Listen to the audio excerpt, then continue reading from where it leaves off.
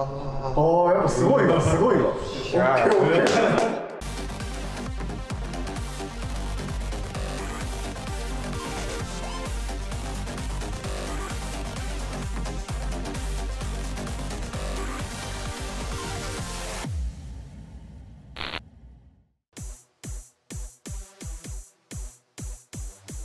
鼻で息を吸います。でこれも鼻の穴で吸うと膨らまないのででこうチェストこういう膨らみ方を押さえてください。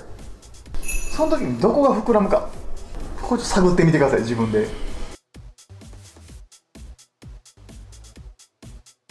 次はランジでこう足交差した状態で押します。まっすぐ前に押してまっすぐ前に。OK です。よっしゃ。これでウォーキングいきましょう。右足軽いはずです。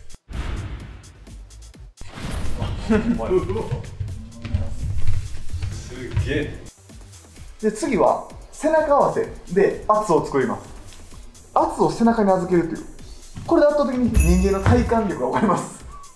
すごいな。ああやっぱすごいわ。すごいわ。